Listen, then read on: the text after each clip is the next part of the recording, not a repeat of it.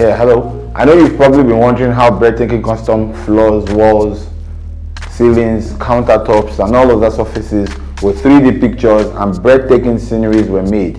Like this, or like this, or like this. It looks difficult, right? Only men can do this, right? Well, you're wrong. Even women who are pregnant can do this with the right tools and materials. Tada! Another myth busted. In this video, a full tutorial video, a DIY video, I'm going to teach you how you can do these amazing finishes step by step. You're probably wondering, how is he going to show me how to do 3D epoxy wearing a shirt and a tie? Well, this is me trying to make you know that making 3D epoxy and all other kind of epoxies are very simple. So simple that even a well-trained dummy can do it using epoxy resin. This is a DIY video. Now you should be able to do it yourself. Work with paints, polyurethane, floors, metallic coatings, reflective coatings, and many other coatings after this video. So let's get down to business. But before the main goodies, a little about me. My name is Francis David Matthew, popularly known as FDM Learn, Africa's king of decorative concrete. Before you continue with this video, do also subscribe to my channel, leave a comment, like my videos, help me make more useful content for you and keep this channel useful. Make sure you do that and let's go on from the step-by-step -step tutorial. Don't rush into beauty, you should watch till the end and see a few tricks up my sleeves. Well, the first things first, you need to get your epoxy resins. Usually they come in two parts, the part A and the part B. We got this one from the Panicrete Industries and this is part A being mixed. Important information, you don't add part B until you're ready to pour. More on that later. Then step one will be surface preparation. Here you will grind your surface you grind it and clean it. The floor the walls the ceilings you intend to work on you clean them using an angle grinder or walk behind grinder. That surface must be totally clean and free from dust moisture stains and any other particles. After grinding you could use your leaf blower vacuum cleaner mop and duster for cleaning. Then begins the actual work. Step 2 we're done with surface preparation now and we need to prime We'll be using Panicrete Industries PRM100 for priming. It is epoxy based but with some kind of additives that ensures increased bonding of the substrate to other layers we'll be placing on top. If you're wondering what a substrate is, let me make it a bit clearer to you. A substrate is any surface you intend to place your 3D epoxy or any other epoxy upon. It could range from smoothly finished concrete regular tiles, wood, stone coat countertops, terrazzo floors, screed walls, granite, and all other kinds of flooring models and others. Now, see, I'm going to show you a representation of what a 3D epoxy installation process looks like in layers. Regardless of whatever surface you're installing your 3D epoxy upon, be it smoothly finished concrete, regular tiles, wood, stone coat countertops, terrazzo floors, screed walls, granite, or whatever kind, your 3D epoxy installation process looks like this in layers. You have the substrate, the primer, the mid coat, the vinyl, popularly called SAV as the self-adhesive vinyl, the clear top coat. The substrate is the already existing layer of surface, then the primer and the mid coat will come upon the substrate and so on. Here we use the PRM100 to prime. Panicrete's PRM100 primer has a mix ratio of 4 parts of component A to 1 part of component B. Now you want to pour out your measures, 4 measures of part A into the mixing bowl and then add the 1 part of part B into the mixing bowl as well. So you have 4 parts of A to one part of B. Remember to agitate your mix properly before you measure them out as they must have sat idly in shipping containers for a while before getting to your Home Depot, departmental stores, and then finally getting to you. Now you've mixed properly part A and part B of the PRM100 epoxy. Begin to apply using a paint roller in forward and backward strokes. Primers should be applied lightly. Think of it as applying glue to the sole of your shoes that came off. Quickly cover the entire surface area, cover every inch of the floors you intend to with the primer. Here we prime the terrazzo and a rough tile floor surface. I told you earlier on that it's so easy a pregnant woman can make it. Well, here is the proof. A lady is doing it. Already watch how she deftly handles it from start to finish. She happens to be one of my very first students in my training school. Well, now she's doing it herself. You'll see further down in the video how she magically finishes things off like a pro. This is a terrazzo floor surface and we need it to completely soak up the primer. Terrazzo floor surfaces or terrazzo surfaces are porous, hence we must sufficiently coat it with the PRM 100 epoxy. Tiled surface consumes less amount of the PRM 100 epoxy than all other substrates during coatings. Now, the moment we're done priming, after a 12 hour duration, we come back for step 3. Allow the primed surface to stay idle for 12 hours, no entry, no traffic, and nothing. And then you move on to step 3. You have to start the mid coat layer with step 3. We use the IMC 200 epoxy for this layer from Panic Panicrete Industries.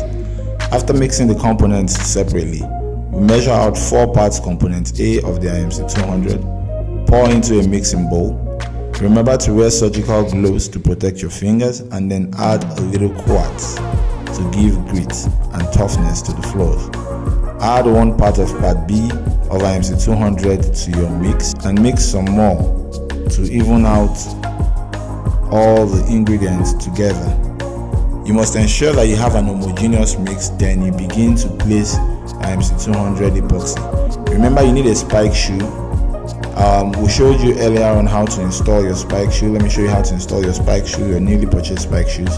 Spike shoes are heavily needed in your epoxy kits installation. Spike shoes make it possible for you to walk over freshly paste epoxy without damaging them. So you can easily walk on fresh epoxy that isn't dried yet and bring no damage to your work in progress. Spike shoes can be worn over your boots, your shoes, or directly onto your flip-flops and then you're ready to pour. Take great care when pouring using flip-flops as it's difficult getting epoxy paint coatings to wash out from the skin when they get dried upon it. This is a great tip for beginner epoxy resin projects so you don't run into issues on your first epoxy pour. It can cost you tons of money if you screw up on your pour and discourage you from attempting another pour. This is why in this video I try to make it as simple as possible and I'm mentioning only the important tools that you'll be needing on the pouring of your epoxy project. Now, spreading the mid coat could be done with a squeegee, a paintbrush for touch-ups and at the edge, at the edges, and a spike roller to prevent the bubbles from building up after your pour is complete. Bubbles in epoxy projects are a nasty bomber for installations that could cost you to lose thousands of US dollars if you don't address them properly. Bubbles are caused by air pockets trapped underneath your epoxy. Spike rollers will release the trapped air under your epoxy and then prevent bubbles from showing up after your work and messing up the entire work. That's the use of the spike rollers. They have spikes that would perforate or puncture the bubbles that will be existing underneath your um, IMC 200 application that's the mid-coat layer if there exist any spike rollers will go there puncture the bubbles and allow the air or the trapped air the air pockets to come out so you choose your preferred method of spreading spread your IMC 200 to form your mid-coat area all over the substrate you primed earlier on Remember it has to be 12 hours before you begin the mid coat layer. Um, use your preferred tool. It could be a scraper, it could be a squeegee, and it could be a spike roller. I prefer the spike rollers be on the safe side. Spread your um, IMC 200 epoxy all over the place. And then I like to walk over the freshly poured epoxy. It feels a little bit squishy underneath the spike shoes. I like the feel of that. But most importantly, I look out for what I might have missed to touch up or forgot to touch touch up earlier on and I go ahead to touch up a little and adequately cover every inch of my substrate.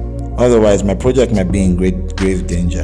You see, if you miss a spot and it remains uncovered after installation, your next layer, which is the SAV, the self-adhesive vinyl, you have you're going to have a self-adhesive vinyl with a void underneath. And no matter how little that void will be at the inception or at the beginning, it will grow into a very big void or a huge hole that will cause your SAV to separate from the mid coat and then the floor will fail in the long run.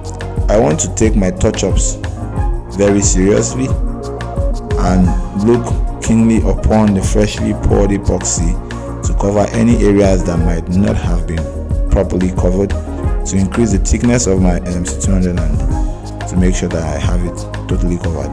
Now to increase the thickness of my MC200 and then reduce the fluidity, I'm going to add a little more quartz to my mix. I want it thicker and stronger. Be careful not to add too much quartz as that will increase the volume of the MC200 epoxy needed. This also increases the cost of materials you'll be using on your project because the thicker your layers, the more epoxy required to cover your work area and also the stronger your mid-coat layers will become and stronger and in turn the stronger your floors be. The ideal thing is to find a balance depending on the cost you're being paid to do the project, how much you're willing to spend on epoxy materials alone, and the amount of traffic that will move on the area and a host of other factors.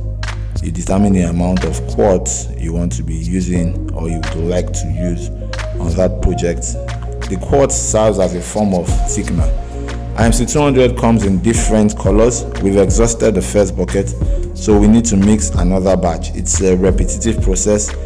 Measure out, mix component A, pour 4 parts component A into the mixing bowl, mix component B, pour 1 part of component B of the IMC200 epoxy into the mixing bowl.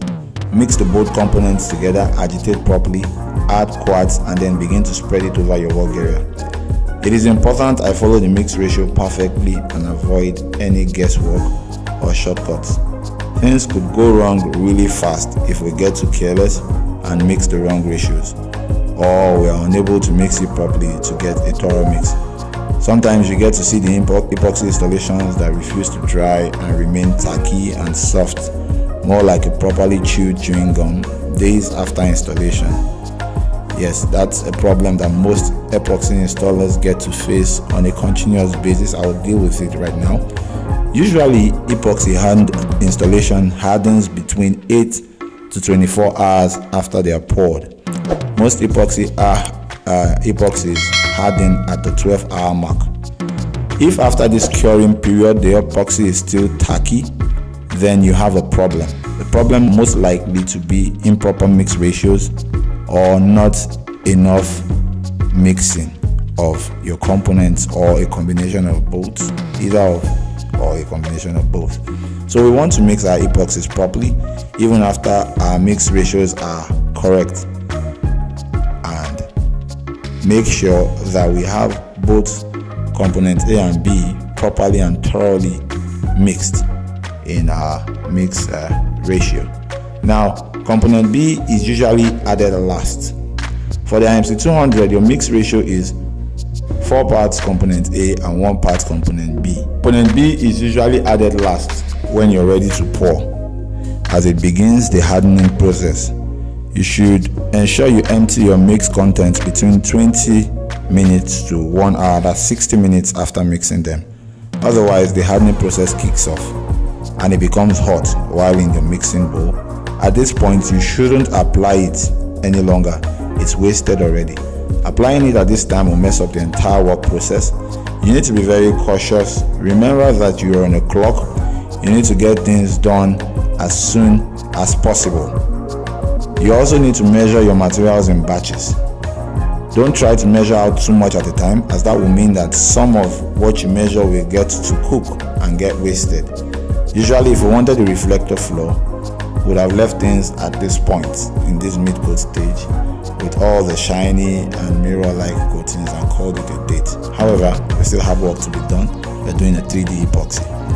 We coat the floor surfaces completely coat the wall skirtings, completely walk over with the spike shoes for touch-ups and repeat the process until we are completely covered. Pour out the mix to the floor, spread it like butter on bread. Spread every inch of your bread have it covered with your butter which is the MC200 in this case. Now the color difference wouldn't matter as it will be covered by the self-adhesive vinyl. The SAV as we like to call it will be placed over it once it's properly cured. So this difference in color you're noticing while we're working wouldn't be showing when we are done. So you have nothing to fear. The self-adhesive vinyl or the SAV will be covering that. Remember I told you about mixing in small batches earlier on? Well here. I didn't follow my own advice and so we had some leftovers. Now we had to use them to make a table.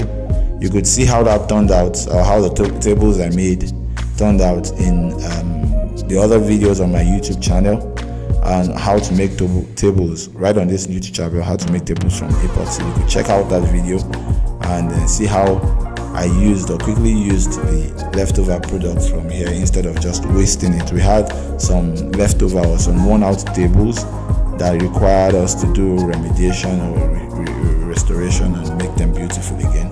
We put the leftover epoxies to use and we had to put protective bags on the floor to prevent spills from the table well, more on that in the other video. You could head over to my YouTube channel if you're there now. Go and check the video on epoxy table. Now back to the mid coating. We want to ensure when we're doing epoxies on the outdoors that you don't want to place it where direct rays from the sun gets to them. UV rays from the sun causes epoxies to yellow when exposed continually because even the best of epoxies will yellow when exposed to the UV rays. This corridor we chose a black or a dark background color or a background color that will hide the yellowing of the epoxy successfully. So we can afford to do it here on the corridor. Because of the grooves in the tiles we are adding much more quartz than usual. We want to make sure the grooves are well hidden properly covered and when we are done with the mid coat we want to make sure that everywhere is uh, sealed. When preparing mid coat for SAV you want to make sure that the finish is glossy and smooth like a mirror, else your vinyl will separate from the floor after a while and the floor fails and there will be no proper bonding between the SAV, the self-adhesive vinyl and your mid-coat layer. So you want to make sure that every inch of your floor is covered. Your substrate that has been primed earlier on is completely covered. Then you can be sure that you won't have your SAV or the self-adhesive vinyl separating separating from your mid coat after your work is done. You still repeat the same process. Continue to repeat your processes like you had been doing earlier on. Repeat the process from start to finish. That's just the mid coat. Now, another important factor you need to know about the mid coat is that when you applying the mid coat, do not leave leftover materials in the bucket do not leave leftover materials in buckets always pour. Now if you if you don't put enough quartz you have a very fluid mix. You see it's a self-leveling mix. When what we mean by self-leveling is that epoxies always will move to the lowest point on your work area. They'll always flow. They're like water. They'll always flow. So you want to make sure that you have a properly leveled surface before applying or when you are applying epoxy. Otherwise what you have is a runoff of your epoxy for 3d floor. Before you add um, your mid coat you must make sure that your floors that you're working on is properly leveled and is smooth. Um, well once we're done with the mid coat then we go to rest for and wait a while usually for 12 hours. If you're using the IMC 200 12 hours after installation it should have hardened. In uh, temperate regions where there's much heat it could extend to up to 18 hours or maximum 18 hour window. If after 18 hours your mid coat didn't get hard or strong then you might begin to panic because it means that probably there's been an issue with your mix ratio or with your mixing process now at this point, there's nothing to do but to wait a little bit more, maybe wait for another 12 hours and bring the total to about um, 28 or 30 hours. And after 30 hours, go back and check if it still doesn't cure then you need to strip off the entire place and start the process from priming again. That's the danger of having improper mix ratio. So having done our mid coat, we're going to go to the next layer, which is the SAV layer. And the SAV layer is the layer that carries all of the pictures, the fancy pictures that you see. And uh, for you to know what we're using for this, um, remember when you want to do a vehicle wrap, a vehicle wrap, you want to brand a vehicle and put all those beautiful images on your vehicle. The material used is called an SAV. So that's what you're looking at now. We'll take the high resolution picture of what we want to be in our floor. You need to get the high resolution image of whatever you want to be in your floor. You could get it from the internet. You could get it from various sites. Um, I, for one, I like to use the. I prefer to use the paid uh, areas like Getty Images, and or you could have a very good graphic designer work on the images for you, like I did on this particular project because I wanted a custom project that can't be found anywhere. So I had to work on my team. On my team, there's a graphic designer to design images for us, and we designed it. And you're going to see how beautiful it looks at the end of this video. So um, after you get your high resolution images, you send them to the printer. You get them printed on the dimension for the work area. Then you begin to trim off the excesses, the white points. That's what we need to do first on the job trim off the excesses, remove all the white points on your SAV, align them properly on your work area, align them properly on your work area. With the aid of a squeegee and uh, some other tools, you begin to lay the sticky part. You know, the paper you are pulling out now is to reveal the sticky part of the SAV. If, uh, if you've never used an SAV before, SAV has what we call a self-adhesive background, usually covered with a paper.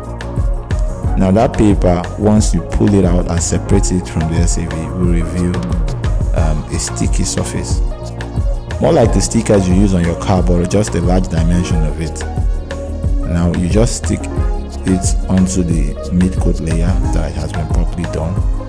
Smooth out every bubbles. This is really a rough work because it was actually done by um, a group of trainees and we just wanted to do see how good it would look it was actually a practical project for a training class actually um, so going on going, going on to what we're doing you want to spread i let the trainees this ones just found out about 3d they've not done it before and they are doing it this much so i let them do it so that they can see how easy it is to actually do a 3d epoxy installation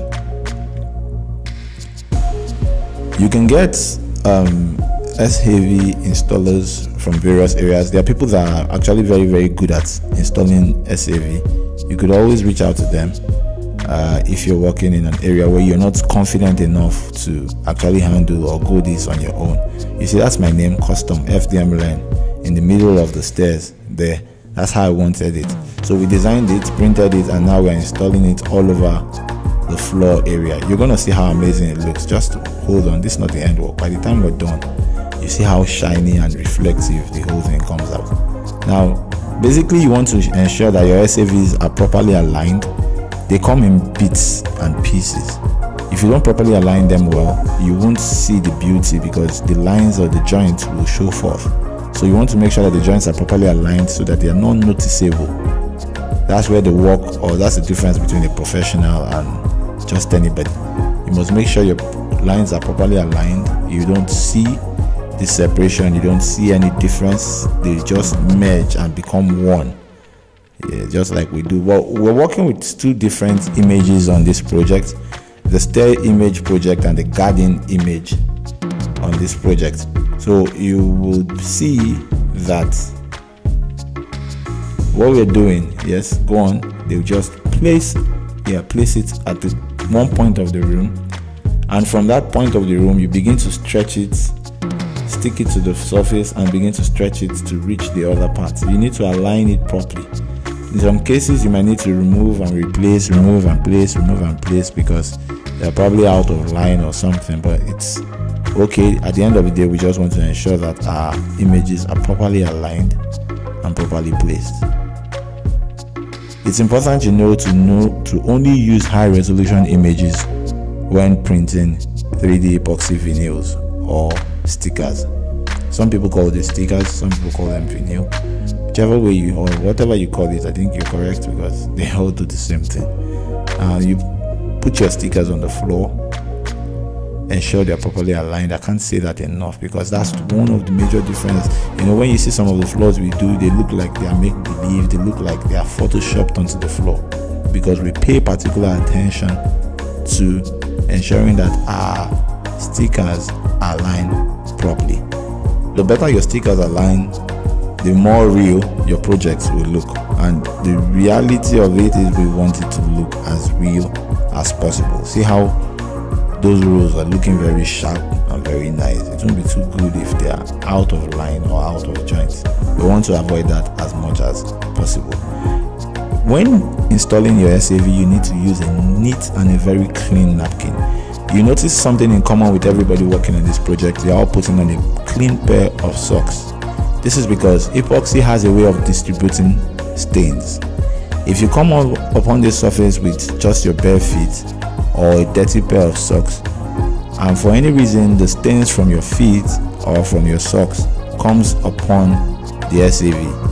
At the point of installing the SAV or the sticker you would not notice those stains.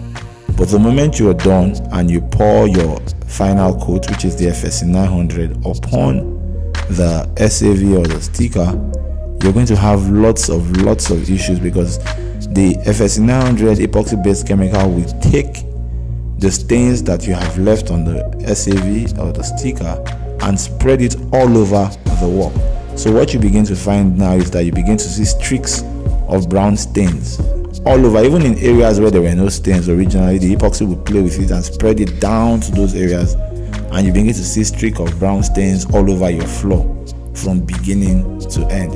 Originally it was just limited to a few areas, but you'd see that it will just move to all the other areas. So you need to be clean. Your pair of socks needs to be clean. The material you use in installing your SAV needs to be clean. Everything needs to be spick span, clean, free from dust and from any form of uh, stains, stains from their fingers, stains from their hands, stains from anything. So you must be clean. If you're gonna be sweaty, if you're the sweaty type, then you need to use a glove. If you sweat on your palms, you need to use a material glove, a glove that is made up of uh, wool or cotton to make sure that you don't have any moisture that could bring up stains. Now, this is the SAV we chose for the exterior area because we want to make sure um, for the exterior area because we want to make sure that we hide some of these things. That's the FSC 900 component A. And this is the final step. This brings us to the final step.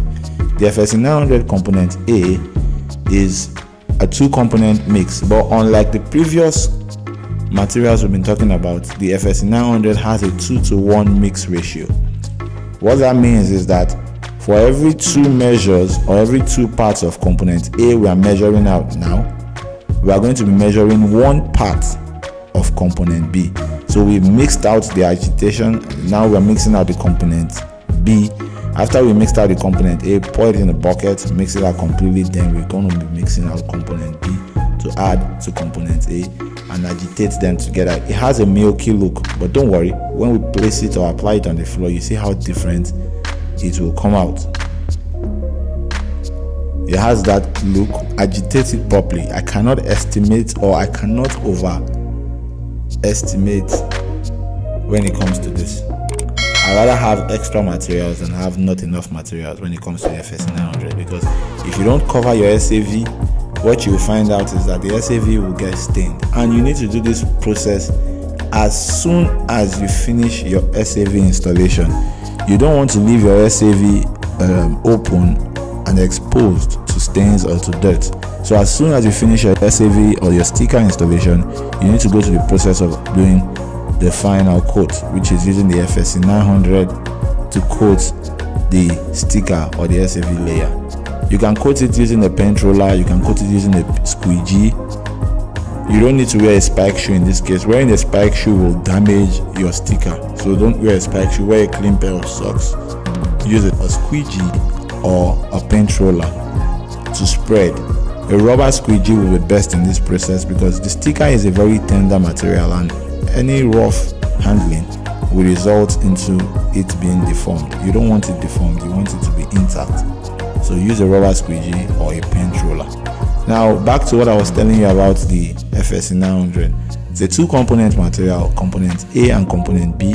It's also epoxy based, but in this case you are going to be doing a mix ratio of 2 to 1 as against 4 to 1 that you are familiar with with the earlier epoxy materials we used for the earlier for the layers we did earlier on so ensure that you cover every inch of your sticker with the clear epoxy mix as many as possible. This is the build up this is the build up what you're going to find out here is that the amount of material you use will kind of determine how protected your sticker will be. If you coat it lightly your sticker won't be properly protected. But if you coat it thoroughly then you have a properly coated sticker that could withstand damages from high heel shoes from your stiletto heels from sharp objects from a drop and all of that so you see that at the end we are beginning to take shape you see the roses looking all good you see the staircase looking 3d-ish the logos and everything all popping in the areas where we've added the FSC 900. The FSC 900 does two things. Number one, it protects your SAV or your sticker from damage. Number two, it gives a depth of realism to your sticker. Makes it have that 3D effect, that depth of color, that depth of shine that you're going to be seeing on our project is usually there the moment we add the FSC 900 you add it, you pour it, and you just spread it. Spread it from the beginning. Usually, when walking like this, we like to walk our way from the furthest point, from the inside, and walk our way to the door because you cannot step over the FSC 900 to touch up. So it's better you walk from the edges, walk from the edges, walk from the door, um, the furthest part to the door, and walk your way towards the door. When you get to the door, you know you've covered every other area in the room, as you will not be having any opportunity to come or climb over to do any touch ups. Cover it completely, walk your way out the door, and you can also call it a date. One important thing to note is that you must ensure that your windows are closed, your doors are closed, and everything is closed because you don't want a situation where insects animals and whatnot will just come into your work area and step on the floor. Any insect that comes upon the floor at this point becomes a permanent part of your 3D image. In fact, it becomes a design on your 3D floor and you don't want that. So you want to ensure that your windows are properly closed, your doors are properly closed. Prevent any animal from getting to where you did your job. Prevent any insect from getting to it. So we're done and you can see the depth of color, the reflection from the lights with the floors we just did. That's what the 3D floor does. The FSC 900, that's what it does. It gives you that depth of color that you begin to see that you're not just looking at a sticker. You can step on it, you can trample it, you can break a glass on it, you can do whatever to it. And nothing bad or nothing damaging is going to happen to those floors as long as you use the correct materials. That's what the FSC 900 does. It's epoxy based from Honeycrete Industries actually and uh, I'm sure you can see how beautiful my floors are with pictures and random images in them. I could actually do any kind of image I could think of. I could do images of my face, I could do it on walls, I could do it on ceilings.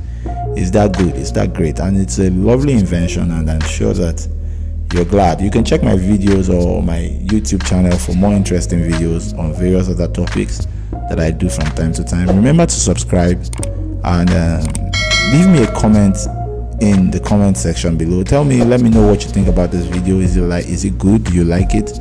What do you think about the processes? Was it easy for you to understand? Let me know and uh, you could help me to make videos that will help you to better understand what we're doing here. If there's anything you don't understand feel free to reach out.